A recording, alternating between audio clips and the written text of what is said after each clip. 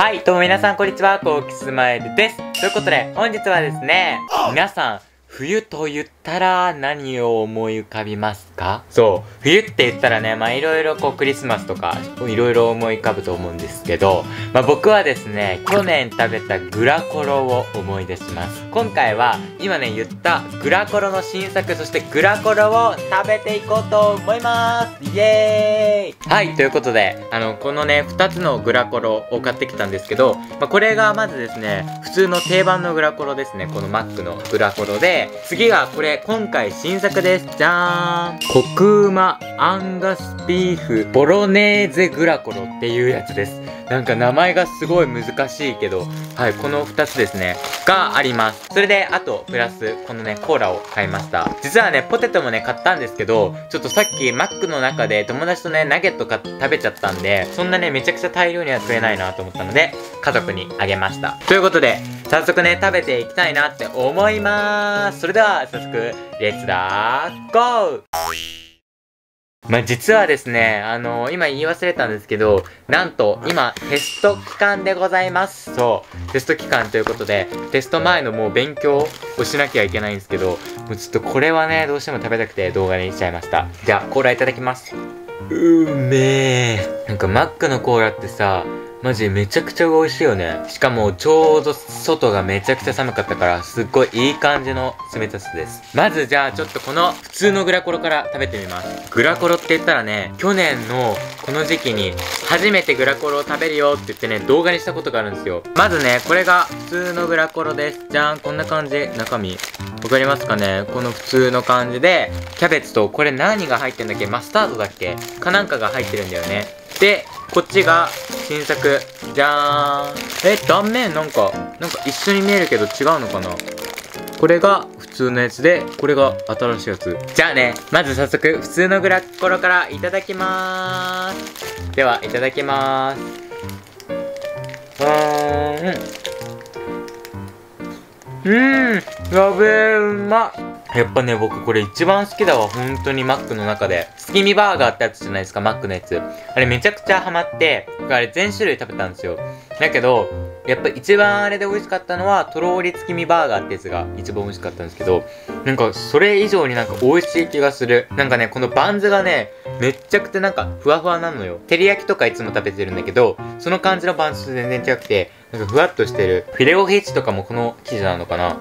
みたいな感じ、すっごいふわふわですね。この中のね、コロッケもめちゃくちゃ美味しいですね。本当に最高。これで僕はもうこの後のテスト勉強が頑張れそうです、本当にね。え、けどみんなもテスト期間とかの人いるんじゃないですかね。なんか12月シーズンってさ、12月の初めの頃ってさ、テストの人とか多いよね。11月の終わり頃から12月にかけてって、すごいなんか全国的にテストある人多いよね、多分。けど今回ね、すごいテストの教科数がめちゃくちゃ多いから、もう過去一並みにやばくてですね、こう放課後学校に残って友達とかと一緒勉強するんですけど、数学が今めちゃくちゃやばいから、数学の先生、いろんな先生に、この問題どうやるんですか？って聞きますね。でも僕の高校の先生ってめちゃくちゃいい先生が多くて、あ、いいよって教えてくれるんですよ。だから本当にめちゃくちゃ助かりますね。前回の定期テストを、実はめちゃくちゃね、頑張ったんですよ。いろいろあって。で、頑張ったんですけど、そしたら、すごい順位が、ふえんと上がってですね、もう、よかった。本当によかった。前回めちゃくちゃ頑張ったんで、もう今回もね、ほんと頑張りたいんですけど、なんか今回実はね、そのテストの前とかに、YouTube のこととか、あとそれ以外の予定とかもね、重なっちゃって、だからちょっと、やばいっす。結構今回。まあけど、まあどうにかなりそうなので、ちょっと本当にね、頑張ろうと思います。まあまだね、ほんと、もう直前ではあるんだけど、取り返しがマジつかないっていうぐらい勉強してないわけではないので、マジもうこっから本当に頑張るしかない。マジやばい。あとね、これね、僕、動画で初めて言うかもしれないんですけど、僕文系なんですよ。文系。そう、あの高校ってね、理系と文系ってあって、理系が、まあ僕の学校とかだと科学とか、まあなんか生物とか、そんな感じなんですけど、ね、二つに分かれるんで、僕は文系で世界史とか日本史とかやるんですけど、もうね、それがやばいの。一番そう、もう、覚える教科だから、文系ってね。だからもうなんかね、すごく大変ですね、それが。あと僕めちゃくちゃ漢字が苦手だから、国語力とかもね、もう配信とか見てたらわかると思うんですけど、マジでないんですよ。ほんと文系に行ってよかったのかなって思うんですけど、まあ実質ね、文系でよかったなって思うんですけど、いやけどね、本当にだから世界史日本史が一番いつもやばいの。で、今回もやばいし、みたいな感じで。まあ、世界史日本史はね、もういつも2日前ぐらいから始めて、一気に頭に入れてみたいな感じでやりますね。もうすぐ忘れちゃうから、そうしないとね、もうテストまで覚えられないよ。って感じでね、もうほんと大変なんですよ、テスト前って。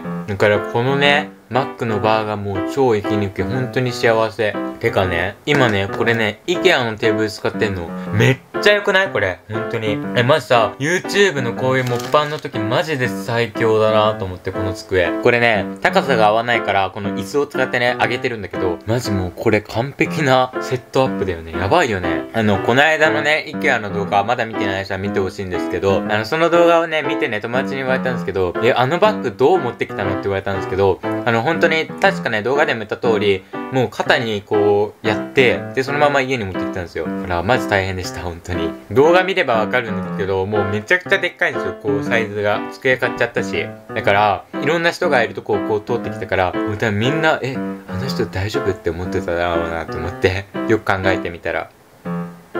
この普通のグラコロ食べ終わりました。マジで美味しい。これやばい。はい。ということで、続いては、これね、本命というか、まあ、僕もこれめっちゃ楽しみにしてるんですけど、この今回新しくね、出た、今年から初めて出た、コクうまアンガスビーフボロネーゼグラコロを食べてみます。これさ、絶対うまいよ。え、なんか、これ何なの？ボロネーゼが入ってるってことかな多分ね、これ見た目一緒だから、この中のコロッケの具とかが違うんだと思います。多分ね、周りのパン生地とかは見た感じもそうだし、多分一緒なんですよ。多分ここが違うのかな。じゃあちょっと、いただいてみます。いただきます。うん。うんん中のクリームにたどり着いてないけど、なんか味が全然違う感じがする。えー、すごい。全然ね、ソースとかがかかってないとこ食べちゃった。じゃあいただきます。ちゃんと改めて。うーん、やべえ。なるほどね。あー、なるほど、なるほど。じゃんわかるかな？食べかけで申し訳ないですけど、このね、コロッケとこのパンの間にボロネーゼが入ってるんですよ。こんなひき肉とかがね。なるほど。うわ、これはうまい。やばいわ、これ。なんかね、冬って感じがする。これ、すごい味が。なんかすごいイタリアンな感じ。イタリアの食べ物かわかんないけど、すごいイタリアンな感じがしますね。一気におしゃれな感じになった高級感があるっていうか、僕が思うに、結構がっつり食べたい人は、この新しいやつマジおすすめです、これ。このね、グラコロはね、まあ、これと比べたら、少しね、シンプルな感じはするんですけど、けどね、全然満足感はある。けどね、僕がもし、どっちかしか食えないよって言われたら、この新作選ぶかもしんないな。うん。マジで美味しい。あ、けどね、確かね、確かなんですけど、このボロネーゼの方が、確かちょっとだけ高かった気がする。ちょっとだけ多分、そう、何十円ぐらいは高かった気がする。まあ、この具材がね、しっかり入ってるんだよね、本当に。ちゃんと具がしっかり入ってるから、すごいこれはめっちゃね、おすすめ。っていうかね、これはね、2つ買ってね、食べ比べするのがマジ楽しいと思う。皆さんいきなりなんですが、ここでね、僕のこのチャンネルについて皆さんになんかご報告と感謝の気持ちを伝えたいんですけど、なんとですね、この間、僕のこのチャンネルの総再生回数っていうね、こう今まで上げてきた動画の再生回数、合計したやつが、なんと100万再生突破しましたやばいよね。あのね実を言うとね僕のそのしっかりしたこうデータが見れるところではもう100万再生いきましたよおめでとうございますみたいな感じであの YouTube のねそのところでこう祝ってくれたんですけどだからねもともと知ってたんですけどちょうどねそれが反映されて皆さんに見えたのが確か2日とか3日前ぐらいでもうすでにねコメントでこう気づいてくださった方がいてあのおめでとうございますって言ってくださった方もいるんですけど本当にね皆さん改めていつも動画見てくださっている方そして本当に応援してくださってる方ありがとうございます。あのー、ついこの間ね、3000人も突破しまして、そしてその後にこう100万再生も突破できて、もうなんか最近ね、本当にすっごくありがたいこうなんか数字というかそれがこう目に見えてですね分かってきてマジでもうなんかすっごいモチベーションになってるしこう皆さんからのコメントとかもねこう日に日にこういろんな方が書いてくださったりするのも見てて本当にマジで嬉しくてもう力になってます。本当にありがとうございます。まあ今年はね、まあ、残念ながらというか、まあ、僕の努力不足なんですけどまあ、YouTube のチャンネル登録者1万人っていうのはね、叶わなかったんですけど、本当来年こそは、もう絶対に1万人行きたいなって思ってるし、もう本当に本気で、本気なんですよ、もう僕は今。やっぱりいろんな応援とかもあってこそ、こう、頑張れているので、もっともっとそれをね、こう、いろんなモチベーションに変えてって、もう絶対に1万人達成できるように頑張ろうと思います。はい。もう来年こそは、もうあと最近ね、ありがたいことに、もうほんと感謝しかもう口から出ないんですけど、こう、ストーリーとか、あの、インスタグラムのストーリーとかで、こう、宣伝してくださる方とかいたりとか、メンションしてくださる方がいたりとかして、本当にマジで嬉しいです、本当にそういうの。本当に憧れだし、なんかそういう風にやってもらうのももうずっと憧れてたことだったからさ、当にマジで嬉しいです。ぜひね、あの、スクリーンショットとか、あとなんかこう、リンクとかあって、あの、拡散とかしてくれたらマジで嬉しいです。本当に、ぜひ、よろしくお願いします。よろしくお願いします。だいぶお腹いっぱいになってきちゃったよ。